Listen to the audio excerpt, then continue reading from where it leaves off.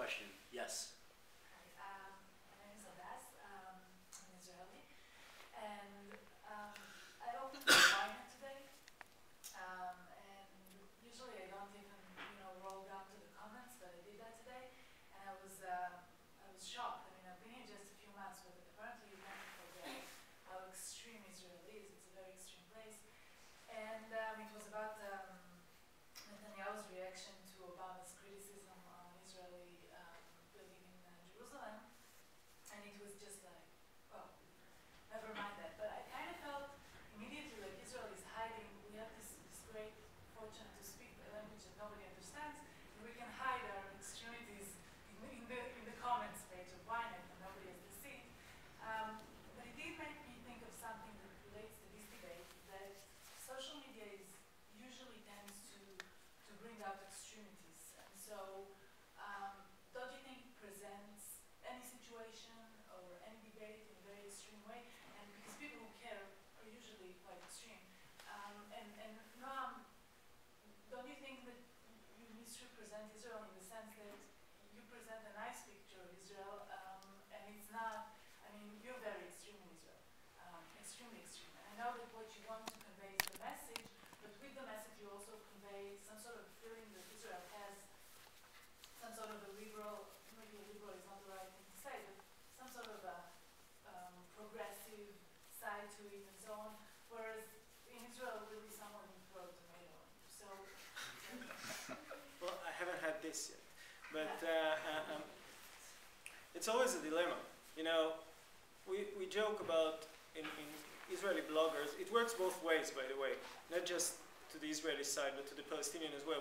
When you blog about Israel in English and you criticize, you start by getting applause from the peace camp in the States, which is nice, and you get nice comments.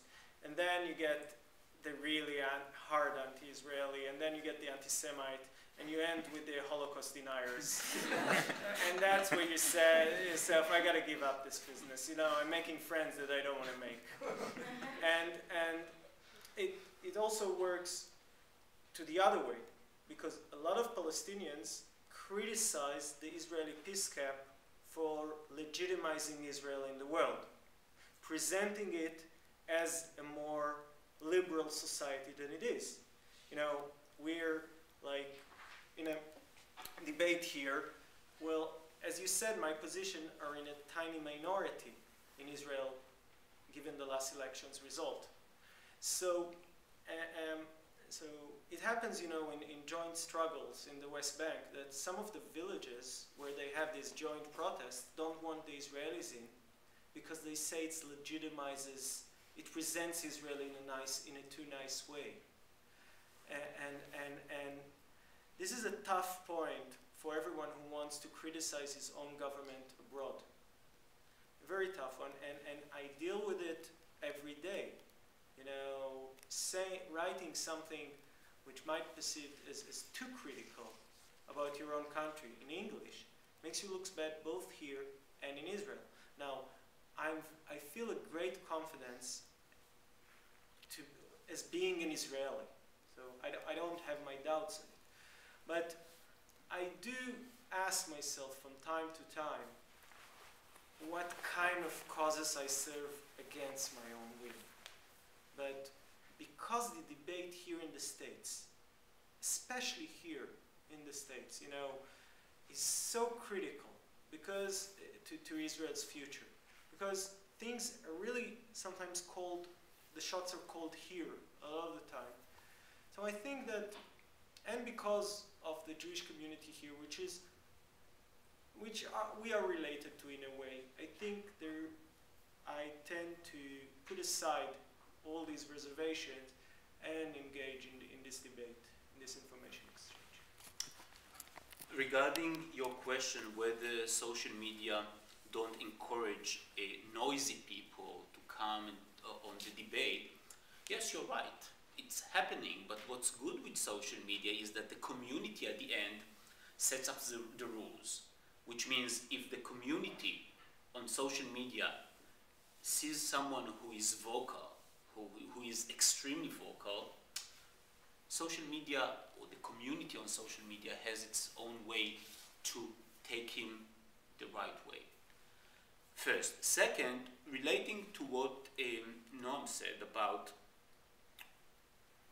criticizing Israel, and yes, I choose the word criticizing, um, Israel abroad or here in the States, I have a different uh, way of looking at the things. I don't have a problem if someone criticizes Israel, period. I think it's legitimate. I think it's something positive. Um, but I have a problem when certain organizations are only criticizing Israel and are only doing it here. First, and I'm not referring uh, to Noam, not at all.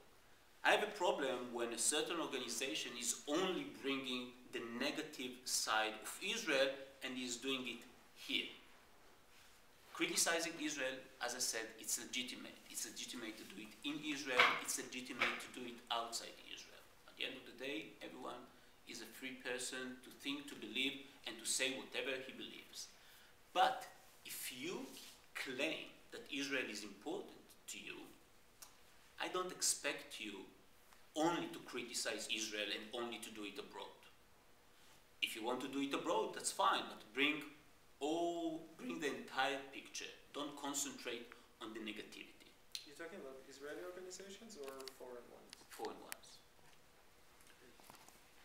Um, yes.